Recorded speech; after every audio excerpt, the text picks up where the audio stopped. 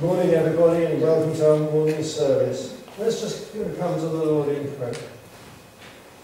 Dear Lord God and Father, we thank you and praise you that we can come to you and worship you in this way. We just pray that you will bless us now throughout this time together. May all that is done be in accordance with your will and for your glory. We ask it in our Saviour's name. Amen.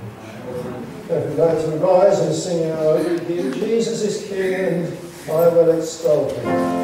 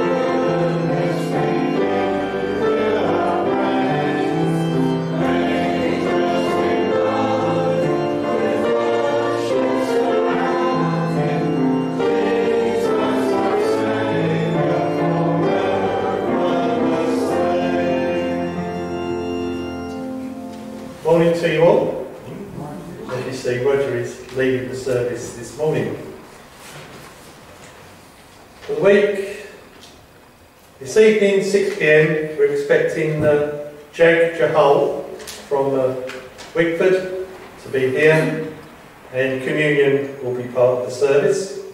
Tuesday, prayer and Bible study, 7.30. Wednesday, Boys Club 6pm, Youth Club 7.15. Friday, Girls Brigade 6.30. Then next Sunday, the 10th of October, will be myself in the morning, be Jam and Bible class. Then in the evening, we're expecting a visit from Richard Partridge from Corringham Way. Just to remind you, one of will remind you after this week, but next Saturday there's a Faith Matters event. If you want to know any more, you have to see me because I think I've got the only leaflet now. But, uh,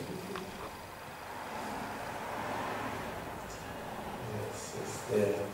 Yes, streets to remember in prayer this week is Star Lane, Stuart's Close, and the Anchorage.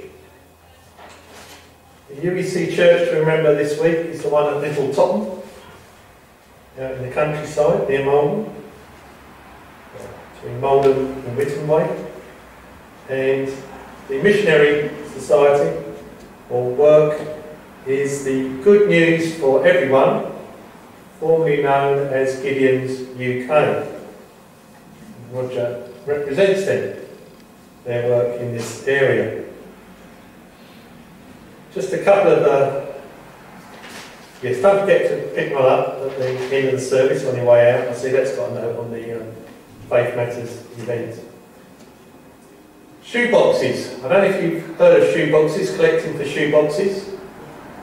But um, there's a, there's a in the porch. There's a, a, a leaflet there to pick up, and I think Shoebox Sunday will be the morning of Sunday, the 21st of November. And then got some provisional dates here for this is in the evening service on the 24th of October, which I believe is Bible Sunday. A bit like we have songs of praise, we're going to ask you for your favourite Bible passages. And then on the 21st of November in the evening, it's our sort of annual Songs of Praise evening. So if you have any favourite hymns you'd like sung, then tell Chris so she can practice in good time. Thank you. And yes, the offering box is at the back. Thank you. Thank you, Peter.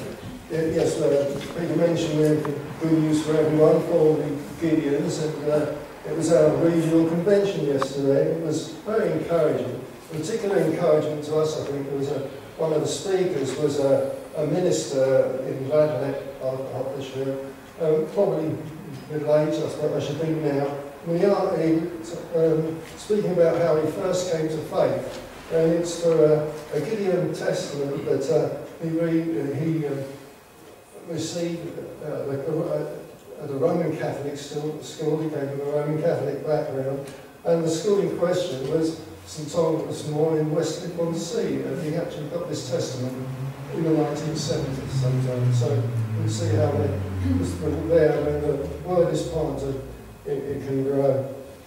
Now, now I'm coming to our next hymn, which is Take Time to Be Holy.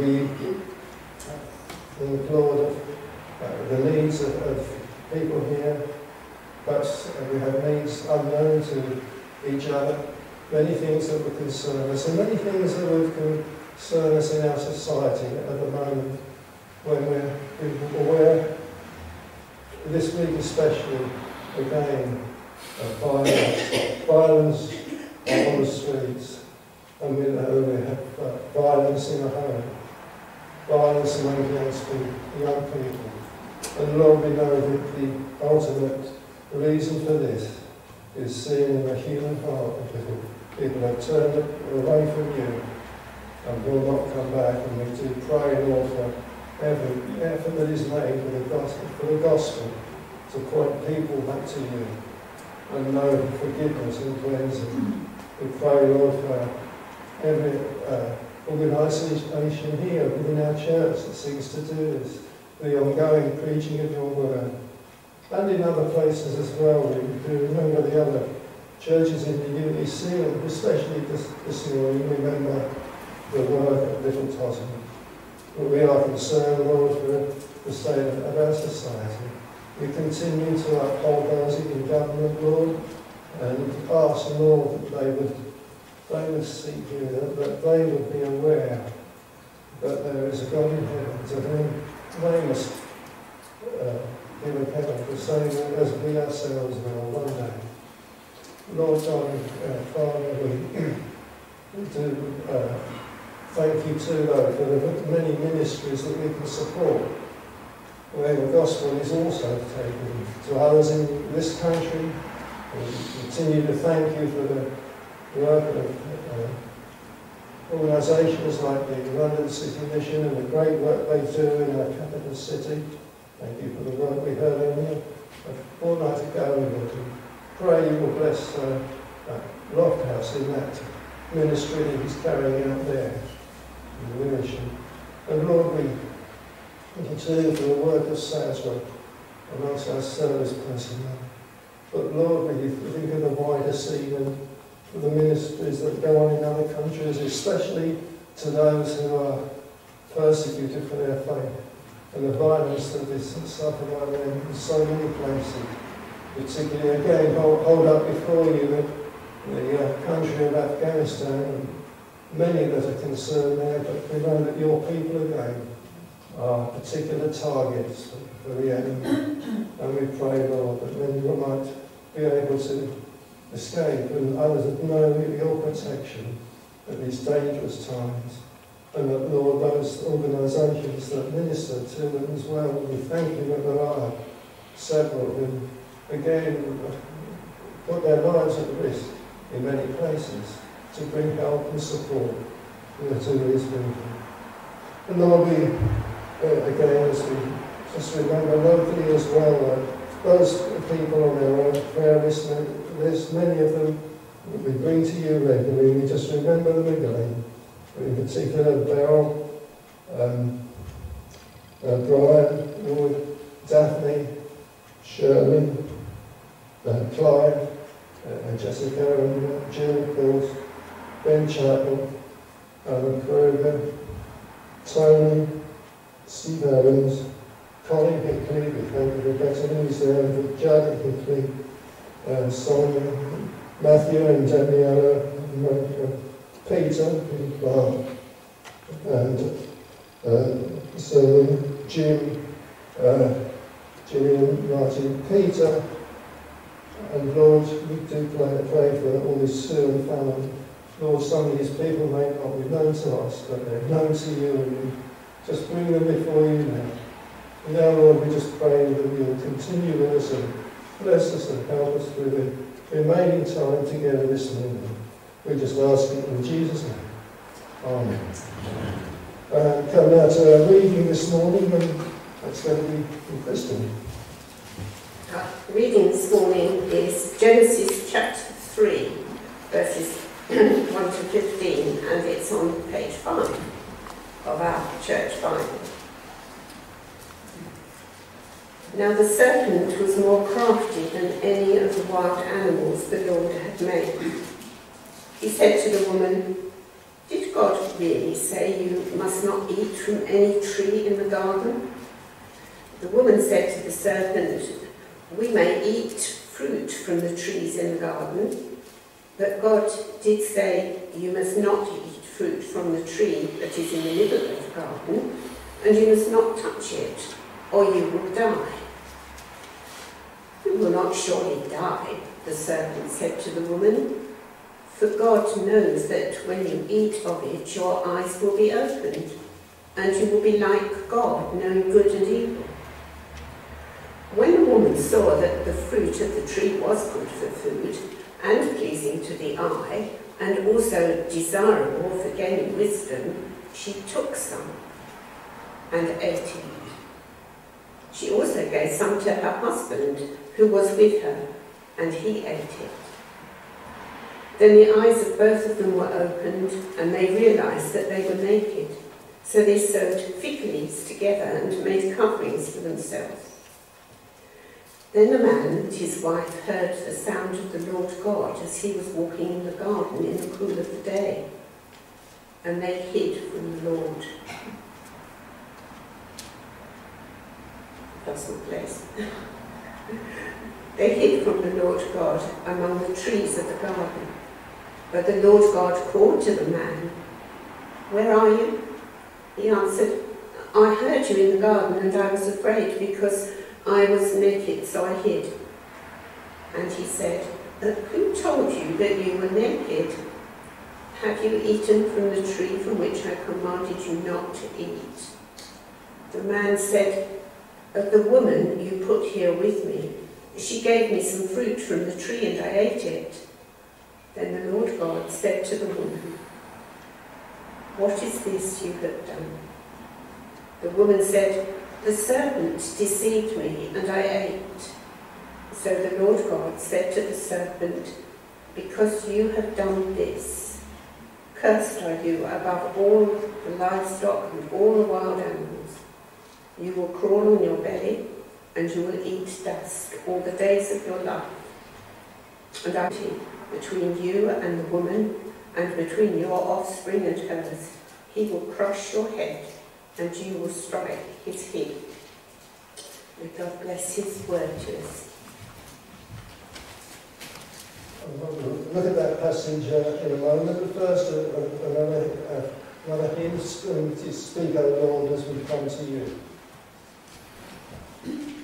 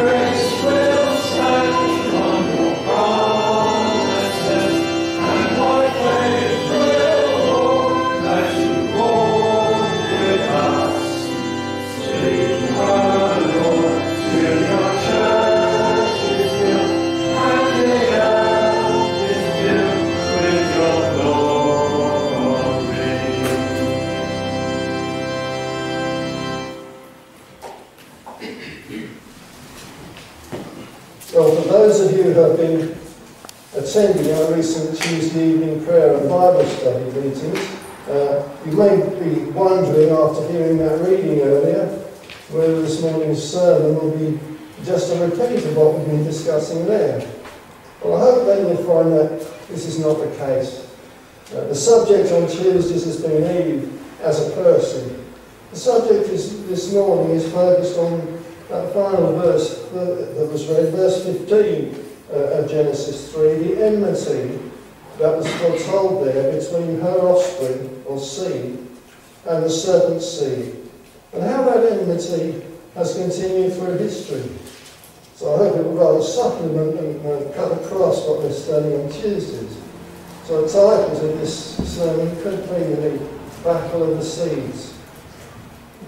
So at the dawn of history there in the Garden of Eden, after Satan in the form of a serpent had deceived Eve and drawn our first parents into sin by disobeying God, God then pronounced a curse against the serpent, ending with these words, I will put enmity between you and the woman, and between your offspring and hers. He will crush your head, and you will strike his heel. Now, at first, they may seem strange words coming from God. Here is the God whom we know as a God of peace, uh, declaring war. I will put enmity. But of course, we know that there can be no enmity, no peace between good and evil, between light and darkness. But that battle is one that has raged, raged since that time and is, in a sense, still going on today and it will continue throughout this present age. It's a, it is a, a war for which the outcome is assured. It is also a war in which we can observe some of the divine attributes, especially God's wisdom and sovereignty. This war would range at its fiercest with the coming of Christ, with the entry of the Son of God into the human race. Well, clearly he is the promised seed of the woman who would crush the serpent's head. So look, look at those words, I will put enmity. When God utters those words, he was not merely reacting to a situation that he had not foreseen. For it's something that he not only foreseen, but had actually foreordained. We can be absolutely certain that God is never taken by surprise. Nor should we think that it was merely a case of working out an overall plan and sorting out the details later. Now, everything was planned, it was planned right down to the last detail. In Ephesians uh, 1, uh, verse 11, we read, In him, referring to Christ, we were chosen, having been predestinated according to the plan of him who works out everything in conformity with the purpose of his will so if God had a plan, when was this plan conceived? The answer is in eternity. In Ephesians 1 again, verse 4, he chose us in him before the creation of the world. And by implication, this means that the whole plan of salvation was planned in every detail before the world, before the universe, before anything existed apart from God himself. Now, we can see this battle taking place at several points in the Old Testament. And we can look at some of them. It started very early in human history, in fact, with Eve's immediate offspring, the brothers Cain and Abel. When Cain was born, Eve said, With the help of the Lord, I have brought forth a man. It may be that Eve thought God, that Cain himself was the promised seed and would be the world's redeemer. If this was the case, uh, of course she was so uh, sadly to discover otherwise, because when he was grown up, as we well know, Cain murdered Abel, his own brother.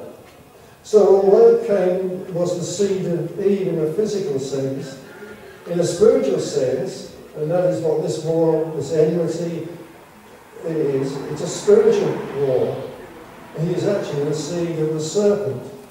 Thus, the Apostle John in the, in the New Testament, in his first epistle, refers to Cain as belonging to the evil one. And when later another uh, son, Seth, was born, it is plain that Eve saw the significance because she said, God has appointed me another child, or seed, in place of Abel since Cain killed him. So the plan of God was not thwarted. Another time when we see the war raging is again between two brothers. This time Esau and Jacob. Because Esau lost both his birthright and his blessing to Jacob, he decided to kill him. But when the moment arrived and when Esau was preparing to attack Jacob and his family, Jacob wrestled with God all night, and in prayer Esau's anger was turned away. Then later, when the descendants of uh, Jacob had become a nation and were working as slaves in Egypt, Pharaoh tried to exterminate them by his instruction to have all baby boys killed. Then later still, there were the numerous attempts on David's life carried out uh, by Saul and others. And now there are other instances from the Old Testament that we could quote. Let's move to the New Testament because uh, this is a war between good and evil. The kingdom of God against the kingdom of Satan is essentially about one person.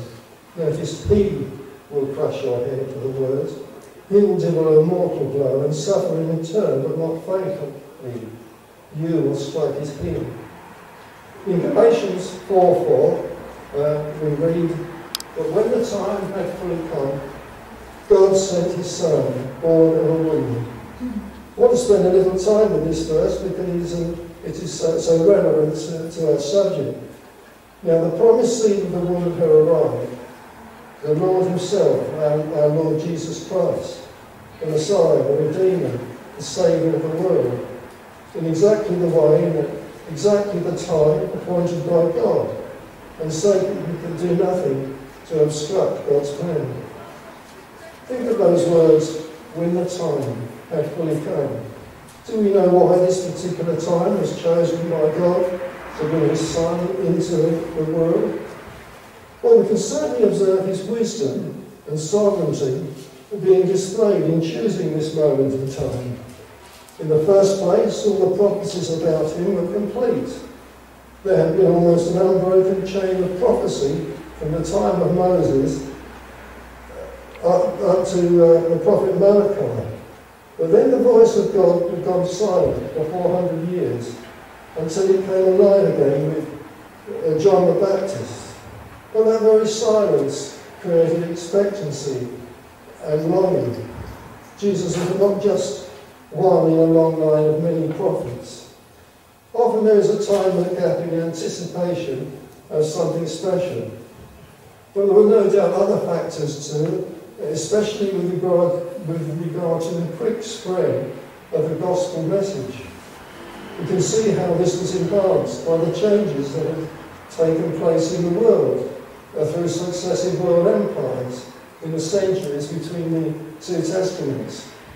One of the legacies of the Greek Empire under Alexander the Great was that Greek became the universal language of the civilized world and is of course the original language for our New Testament. And although Rome took over from Greece as the world power, uh, that aspect didn't change. Then what Rome provided for was the, the rapid spread of the gospel through the road and communication system and an enforced peace. So much for, then for the fullness of time, but what about the next simple but profound statement God sent his Son.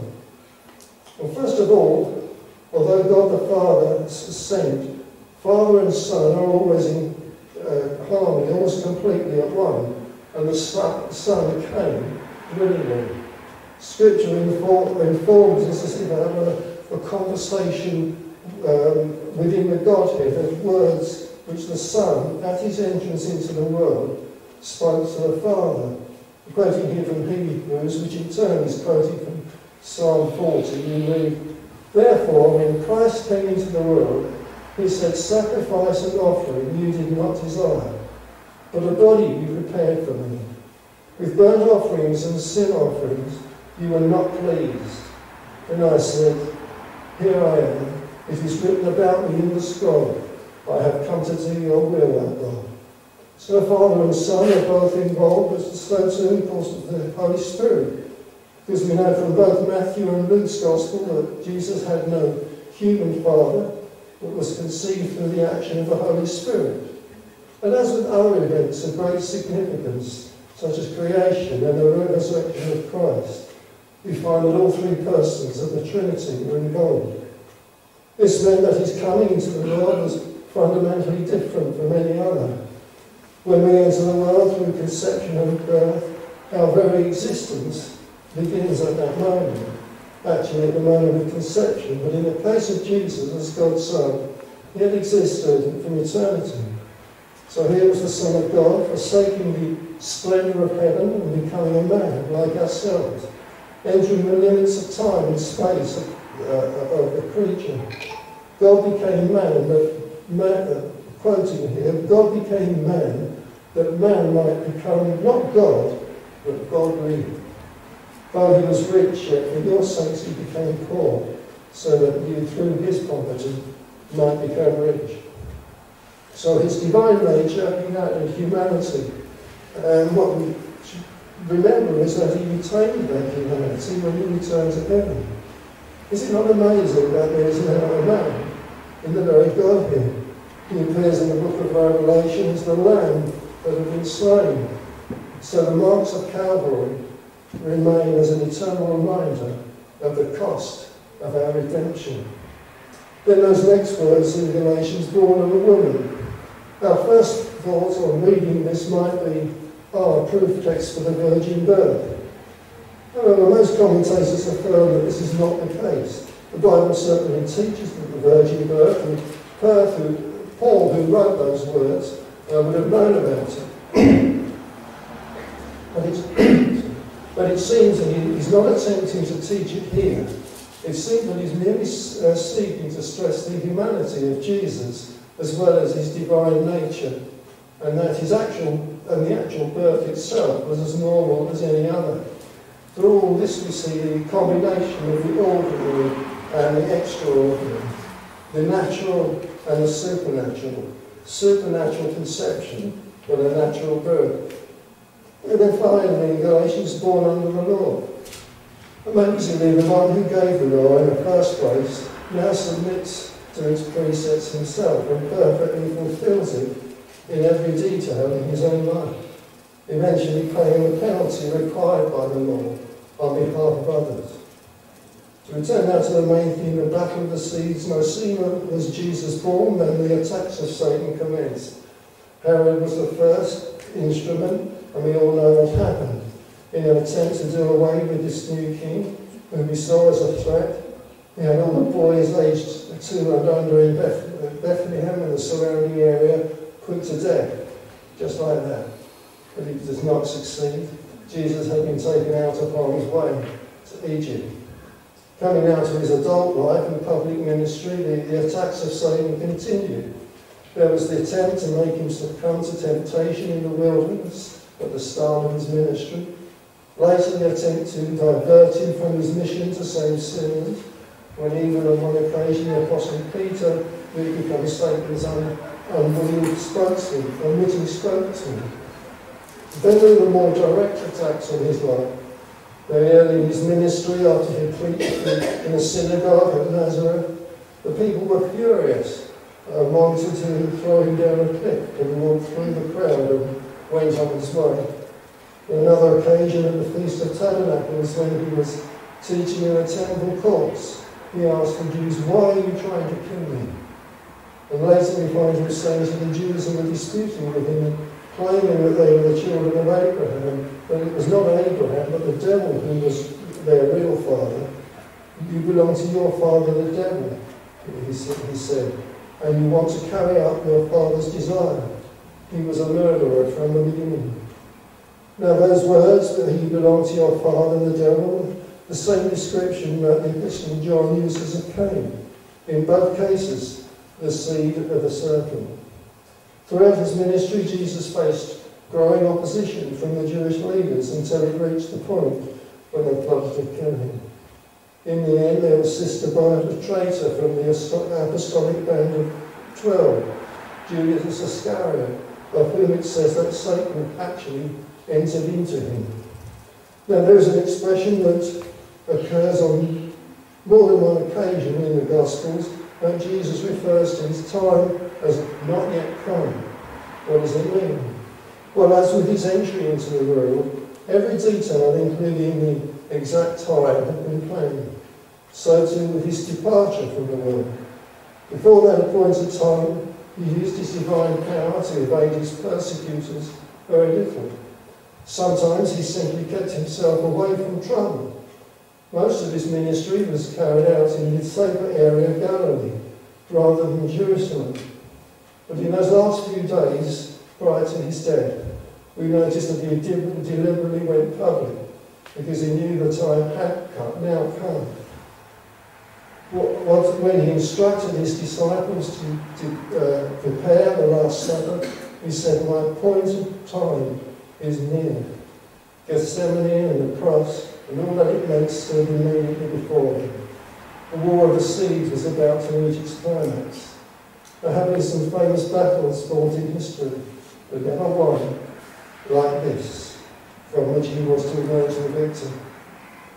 When we come to the cross itself and that cry of Jesus, uh, known as the cry of de dereliction, My God, my God, why have you forsaken me? It might appear that the battle was being lost, but soon it was to uh, follow the victory cry. The victory cry, it is finished. What this meant for Satan is very well uh, on writer against sorry, the book titled The Triumph of the Crucified. He refers to the words of Jesus, Now is the judgment of this world. Now shall the prince of the world be cast out. And writes, it was through the cross that the dying one triumphed. It was through the cross that he robbed the principalities of their armor. It was through death that he took away the, the might of him who had the power of death. Hence his victorious cry, it is finished. So then the ancient promise about the crushing of the serpent's head in the war of the seeds was confirmed. For although Jesus had been struck, it was as it were only the heel. It was not final. On the third day he was to rise again and have the seal of his Father upon his completed work, and to demonstrate beyond all doubt that he was and is indeed the Son of God who has power over death. Forty days later he would ascend in bodily form and sit at the right hand of the Father where he still is to this day, making intercession for his people. But let's remember that the events surrounding the birth of Christ always pointed to his death. Bethlehem would always lead to Calvary. Even the very, even the very uh, saying Jesus, when the name Jesus, when the angel appeared to Joseph and told him uh, about the expected birth, he said, "You are to give, his, uh, give him the name Jesus, because he will save his people from their sins." because we know that the name Jesus means Saviour. Again, when we come back to that verse from Galatians, God sent his Son, born of a woman, born under the law. Why? To redeem those who are under law. He came to reconcile us to God through his substitutionary death.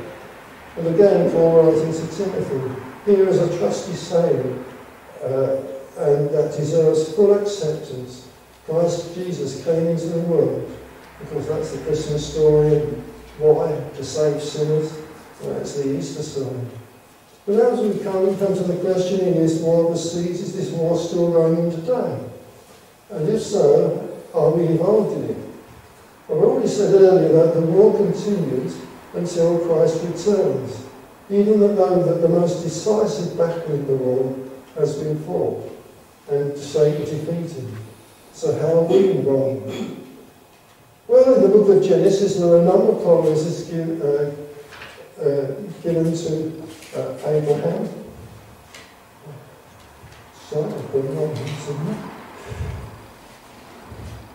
uh, concerning his seed.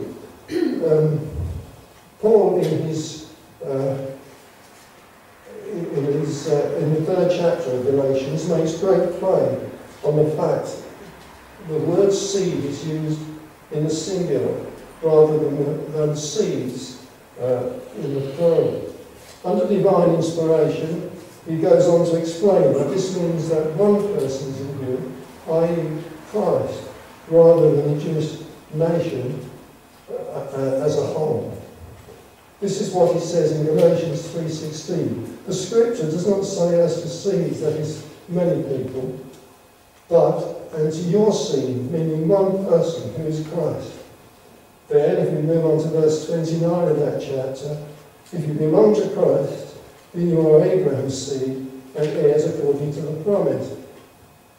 Well, this is naturally follows that if Satan is still alive today, and he is, and Christian believers in particular are going to be a special target of his attacks. And is this not the case when you consider the level of persecution of Christians at the present time? All this is not to deny that he is acting in many other ways in the world as well.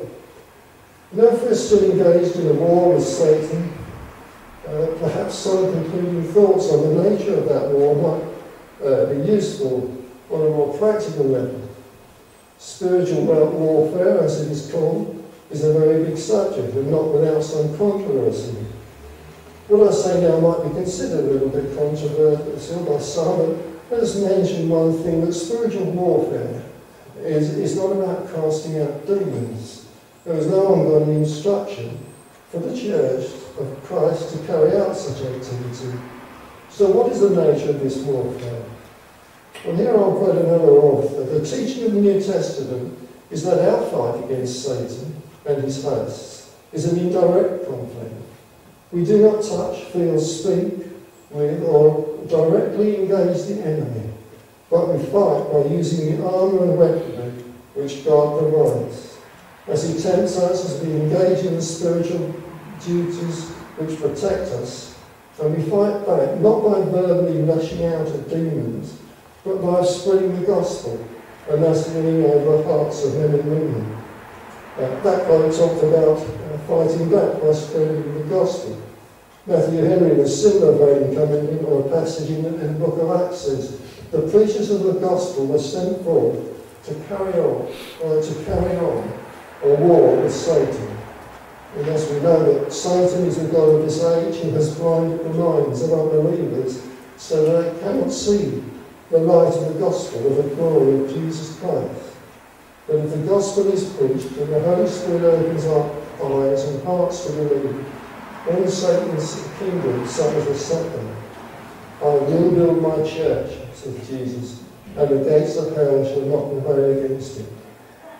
We may not all be preachers of the gospel, we can pray, we can give support, and uh, uh, preaching in other practical ways, and that includes the vital work amongst children. If we do those things faithfully and depending on the Lord for strength, then that is the way that believers uh, in, in this day and age now continue the war against Satan. But remember that the main battle, the decisive battle, was won 2,000 years ago. Let's turn now to our final hymn, which is Soldiers of Christ Arise.